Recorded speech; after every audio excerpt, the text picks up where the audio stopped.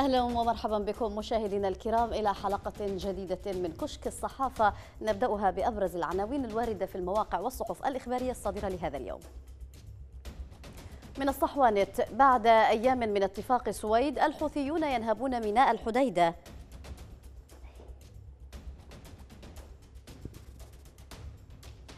صحيفة الأيام تسرد قصة مدينة من ملتقى الشمال والجنوب إلى مدينة يخشى أهلها العودة إليها.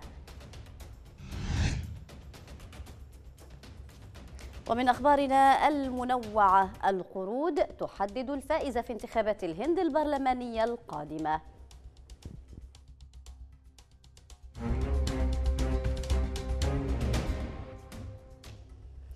أهلا بكم. كشفت مصادر عاملة في ميناء الحديده نهب ميليشيات الحوثي معدات ووثائق وبضائع مملوكة لتجار ومستثمرين كانت في طريقها للشحن والنقل من الميناء ويعنون موقع الصحوانت بعد أيام من اتفاق السويد الحوثيون ينهبون ميناء الحديدة.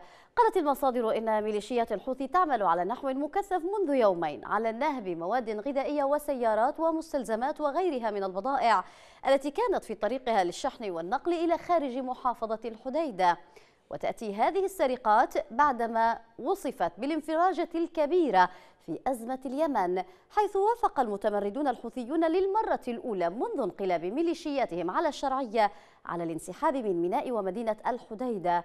يتابع الموقع كانت مدينة الحديدة شهدت خلال الثلاثة أسابيع الماضية توسعا في عمليات النهب المنظم للمؤسسات الحكومية من قبل ميليشيا الحوثي. ووثق مواطنون جزءا من المسروقات الخفيفة والثقيلة على متن شاحنات كبيرة مغادرة المدينة باتجاه صعدة وصنعاء. أدى استمرار الحرب في اليمن إلى تدهور مختلف الأوضاع في البلاد فضلا عن ممارسة الكثير من الانتهاكات بحق المواطنين.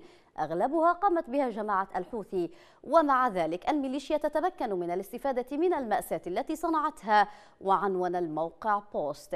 كيف استفاد الحوثيون من المتاجرة بالملف الإنساني؟ ينقل الموقع عن أحد الإعلاميين اليمنيين قوله الوضع الإنساني هو من آخر اهتمامات جماعة الحوثي فهم لا يبالون بأحوال المواطنين ودليل ذلك انقلابهم على الدولة بحجة ارتفاع الأسعار التي أصبحت اليوم أكثر بكثير من ذلك الحين. ذكر للموقع بوست أن الحوثيين استفادوا من الملف الإنساني بالمتاجرة به لابتزاز المجتمع الدولي والشرعية وادعاء المظلومية وأن هناك دولا تمنع عنهم الغذاء والدواء وتمنع وصول الطائرات والسفن وهو ما يناقض الواقع. عن الدم المهدور في السويد كتب مصطفى الجبزي مقاله المنشور في المصدر أونلاين مضيفا في أجزاء من المقال. لن يسلم الحوثي سلاحه ولن يتحول إلى حزب سياسي ولن تتم عدالة انتقالية ولن يحصل شيء وفقا للمرجعيات. الخلاصة التي تقوض علينا هي القبول بالحوثي بقضه وقضيضه وعقيدته وسلاحه شريكا للجمهورية وحاكما ضمنا كما أراد من البداية. وفي أحسن الأحوال العودة إلى اتفاق السلم والشراكة وخلق ثلث معطل سياسيا في الحكومة وميليشيا أفضل من جيش الدولة. جولة السويد. بنتائجها المؤلمة لا تحسب للحوثيين ونباهتهم وعبقريتهم التي يحاول البعض منحهم صفات لا يستحقونها ولكن إلى استعجال الإرادة الدولية في كلفتة الملف اليمني واستمرار معاناة الشعب وفرض الحوثية كأمر واقع لا يخدم السلم والاستقرار في اليمن أو في المنطقة. وأعجب أن البعض يفسر نتيجة هذا التحرك الأممي حفاظا على القدرة التشغيلية لميناء الحديدة. وتسهيلا للمساعدات ومعالجة الوضع الإنساني. بل العكس تماما. استمرار سيطرة الحوثي على الميناء يطيل عمر الحرب من ناحية ويسمح بالتلاعب بالمساعدات و... وأيضا لا يستجوب لعتب المنظمات الدولية على التحالف بعرقلة وصول السفن إلى الحديدة بحجة آلية الرقابة. هذا الوضع يميع حقيقة المتسبب في الكارثة من خلال تبادل الاتهامات بين الحكومة والحوثيين وبالتالي لا يتحمل التحالف كامل المسؤولية. كما تدعي المنظمات.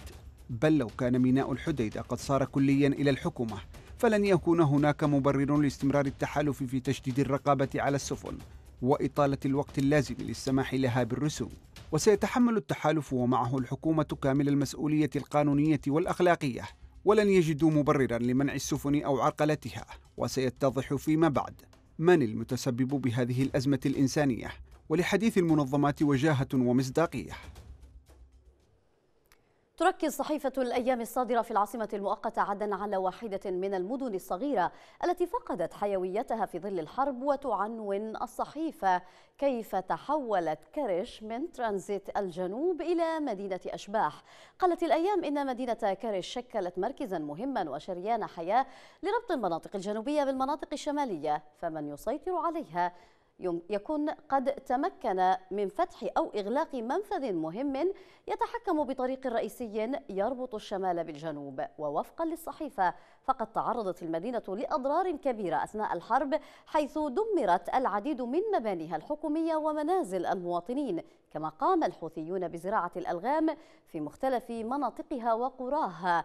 تفيد الصحيفة أن الألغام أدت إلى تأخر عودة النازحين إلى منازلهم حتى يتم تطهير مناطقهم من الألغام. فبعد أن سيطر الحوثيون عليها لفترة محدودة نزح منها مئات الأسر إلى مناطق أخرى بحثا عن الأمن والأمان. يقول قائد فريق نزع الألغام أحمد الردفاني أن فريقه نازع عشرات الألغام المزروعة وأبطل مفعولها ونقلها إلى مواقع آمنة بعد أن زرعتها الميليشيا في الطرقات والقرى والمدارس وحول المدارس ومراكز المياه. وكشف الردفاني عن وجود مقذوفات مختلفة من مخلفات الحرب صاروخية ومدفعية لم تنفجر ويجري التعامل معها ونقلها إلى موقع آمن للتخلص منها وتدميرها إيران تستعد للمعركة تحت هذا العنوان كتب ميشيل كيلو مقاله في العرب الجديد متسائلا عن موقع الحرب بين أمريكا وإيران وما إذا كانت اليمن واحدة من ساحة القتال هذا وأضاف. تساءل كثيرون عن المكان الذي ستبدأ واشنطن معركتها منه ضد إيران. أهو اليمن حيث يمكنها إنزال هزيمة سريعة بالحوثيين من دون أن تتمكن طهران من تحاشي ارتدادات هزيمتهم عليها. ويرجح أن تسارع إلى إعادة تموضعها في اختراقاتها العربية الأخرى. لكن وزير الدفاع الأمريكي أعلن أن واشنطن تريد حلا سياسيا في صنعاء للحوثيين وبالتالي لإيران حصة فيه. أم أنها ستبدأ من العراق؟ أزيح قبل ثلاثة أعوام نور المالكي عن الحكم على الرغم من تمسك المرشد به. أم أن بدايتها ستكون من سوريا حيث يرجح أن تطلب واشنطن مساعدة موسكو بينما بدأت إسرائيل حربا متقطعة لكنها مؤثرة ضد الوجود الإيراني وملحقته أم سيكون لبنان مستعمرة إيران التي يحرسها قطاع من الحرس الثوري. يسمى حزب الله. لم تبدأ واشنطن المعركة بعد وإن كان صحيحا أن بدايتها قد تنطلق من حدث مباغت يقع من دون مقدمات. فتتصاعد المعارك بعده إلى حرب يستخدم الطرفان فيه. ما لديهما من سلاح. في مقابل سلبية واشنطن بدأت إيران أعمالا استباقية نشطة. تخفض رغبة أمريكا في الإقدام على حرب واسعة معها. عبرت عن نفسها في جملة تدابير. تستهدف توسعة ميدان أي معركة قد تبدأ. من الساحة السورية حيث تريدها واشنطن إلى الساحة العربية وما وراءها لإضفاء طابع على الصراع.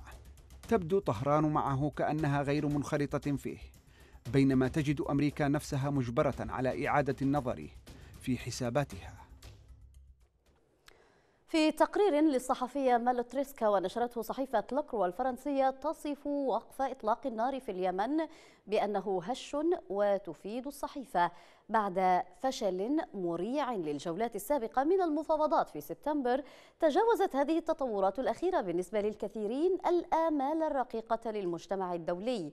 يفيد التقرير يجب على الأمم المتحدة إرسال حوالي 30 مراقبا في أقرب وقت. تقول الصحيفة استنادا إلى معلوماتها بشكل عام لم يكن هناك تقدم حقيقي كبير في هذه المفاوضات وبدون معالجة قضية الحل السياسي للصراع فإنها لا تمثل نصرا عظيما ولكنها جعلت من الممكن تجنب الفشل. يقول فرانسوا بورغا المدير الفخري للبحوث في المركز الوطني للبحث العلمي وفي معهد الأبحاث والدراسات حول العالم العربي والإسلامي وبالنسبة له فإن الخطوات الصغيرة التي بدأت في ريمبو تفيد الحوثيين في عملية تبادل السجناء من الحديدة. يقول نجاح المفاوضات القادمة سيعتمد بشكل خاص على موقف الغربيين في هذه المرحلة.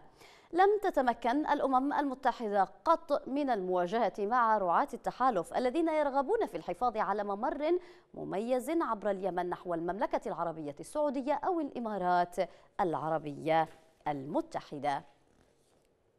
لا نزال في جولتنا المترجمة خصيصا لقناة بلقيس بين الصحف الفرنسية حيث لا تبتعد صحيفة الإكسبريس عما ذهبت إليه لاكروا وقالت الصحيفة إن السكان قلقون من هشاشة عملية السلام حيث يوفر اتفاق السويد غير الموقع بين اليمنيين أملا للسكان المسالمين ولكن بعد سنوات من الحرب لا يريد العديد من الناس رؤية نهاية النفق أمام هشاشة العملية وعدم الثقة المستمر بين المتحاربين.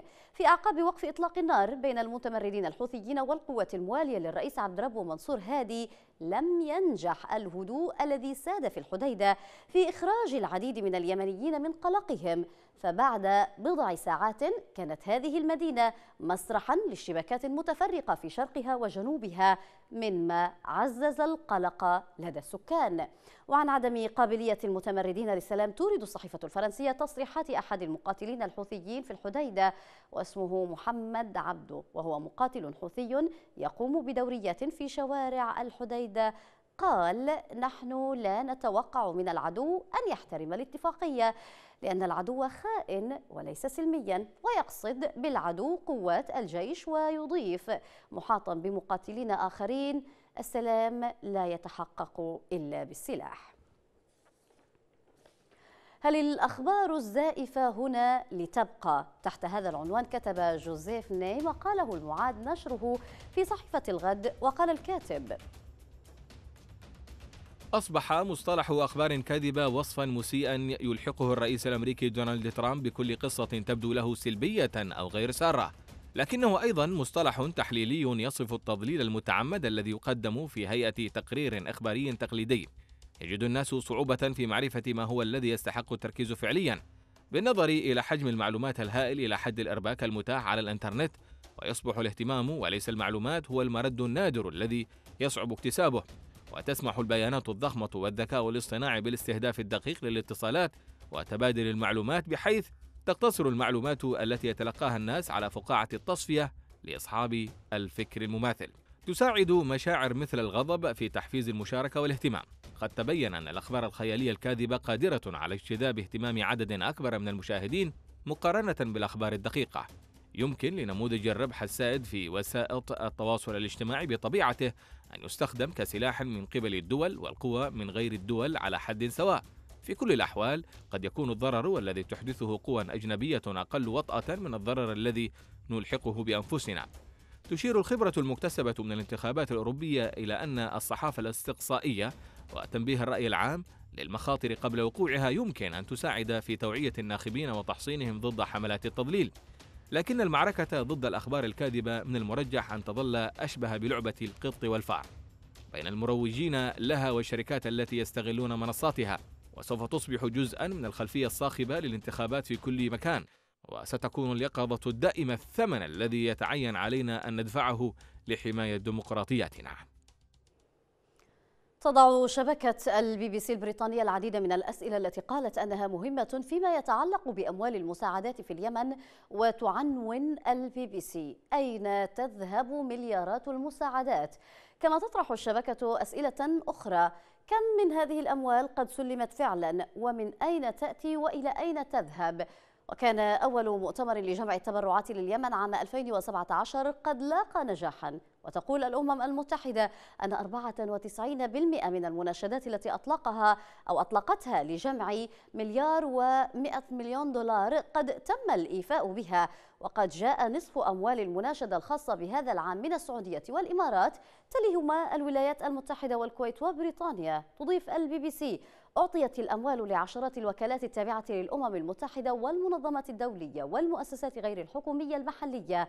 تقول الشبكة أنه بالإضافة إلى غارات التحالف وتدمير عدد من الطرق والجسور فإن المتمردين الحوثيين يقومون بمنع وصول المساعدات إلى مدن محاصرة مثل تعز وينصبون الحواجز على الطرق المؤدية إلى العاصمة ويفرضون رسوما إضافية على وكالات الإغاثة. تتابع البي بي سي كما تعرقل جماعات محلية وأمراء حرب أيضا تسليم المساعدات حيث يتم الاستيلاء عليها وبيعها في السوق السوداء.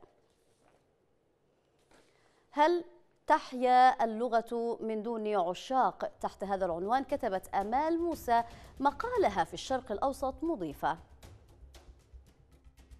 السؤال الجدير بالطرح حسب اعتقادنا هو كيف نضمن توهج اللغة العربية وصمودها في الصراعات المحتدمة ضدها وهي تعاني مما يشبه الهجر هل تحيا اللغة من دون عشاق؟ وهل تصمد اللغة من دون تقدير لقيمتها ودورها؟ عندما نسجل تراجعا في عدد طلبة اللغة العربية في جامعاتنا ناهيك عن تراجع الإقبال على المطالعة والعزوف عن قراءة الشعر حتى لكأن الشعراء باتوا كائنات غريبة في زمن التهافت الاغترابي المتعثر على اللغات الأجنبية وهيمنة العلوم الصحيحة فإننا نستنتج تراجعا واضحا في مكانة اللغة العربية وفي درجة تثمين الإقبال عليها وتعظيم جهد المهتمين بشأنها. نحن مجتمعات لا ننظر بعين التقدير إلى لغتنا، وتتباهى الأسرة العربية اليوم بإتقان أبنائها للغات الأجنبية في المقام الأول. نتعاطى مع اللغة كعنصر ميت من مقومات الهوية، ونستحضرها من باب الحنين لا من زاوية تفعيلها والإيمان بحيويتها الدائمة. إن الفكرة التي يجب أن نشتغل عليها هي الاعتزاز بلغتنا، وإن الاندماج في ثقافات العالم ولغاته لا يعني البتة التفريط في أهم مقوم من مقومات هويتنا. وإذا ما اتفقنا على أهمية اللغة كبعد أساسي من أبعاد الثقافة، فإنه يسهل علينا المرور إلى الفكرة الجوهرية. إن المعركة في العالم اليوم في ظاهرها معركة اقتصادية ولكنها في الحقيقة ثقافية بامتياز. فامتلاك الاقتصاد مدخل لامتلاك المعاني والرموز والهيمنة ثقافيا على الثقافات الأخرى.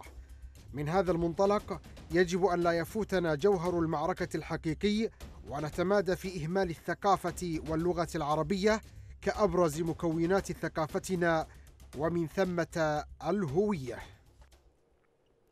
تواجه الحكومة الهندية انتخابات صعبة في العام المقبل لكن يتعين عليها أولا أن تتعامل مع خصم لا يقل دهاء عن أي خصم سياسي وهو وفقا لعنوان صحيفة الشرق الأوسط القرود. تحد أو تحد يؤرق الحكومة الهندية قبل الانتخابات. تقول الصحيفة تنتشر قرود من فصيلة المكاكريسوسي حمراء الوجه أو تنشر الفوضى وتخطف الطعام والهواتف الجوالة وتقتحم المنازل وتروع السكان داخل وحول العاصمة الهندية. قال راجيني شارما الموظف بوزارة الداخلية يخطفون الطعام كثيرا من الناس أثناء سيرهم وأحيانا يمزقون الملفات والوثائق بعدما يتسللون عبر النوافذ. وقبل بدء بدء الجلسة الشتوية للبرلمان أوردت نشرة موزعة على الأعضاء طرقا لمواجهة هجمات القردة ومنها عدم استفزازها أو التواصل بالعين معها مباشرة وعدم إبعاد أي قرد رضيع عن أمه بأي حال. تفيد الصحيفة يبدو أن القردة ليسوا من أنصار رئيس الوزراء ناريندرا مودي إذ خرب المئات من قرود المكاك خطته لتوصيل الإنترنت اللاسلكي في دائرته الانتخابية. صحيفة الجارديان نشرت صورا عن أهم الأحداث الأسبوعية التي رصدتها عدسات المصورين في مختلف أنحاء العالم نتابعها.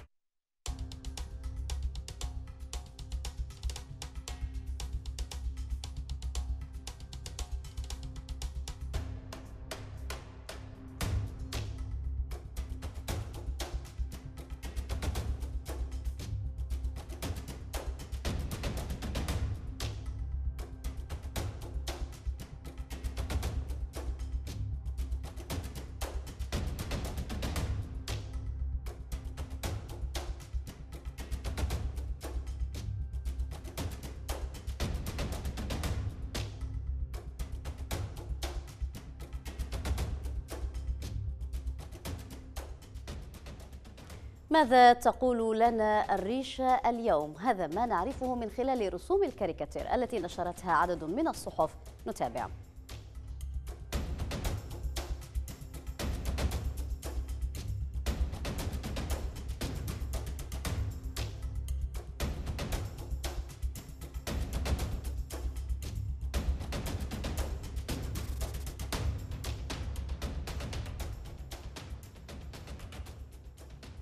بهذه المجموعة من الرسوم والصور نكون قد وصلنا إلى ختام حلقتنا لهذا اليوم من كشك الصحافة.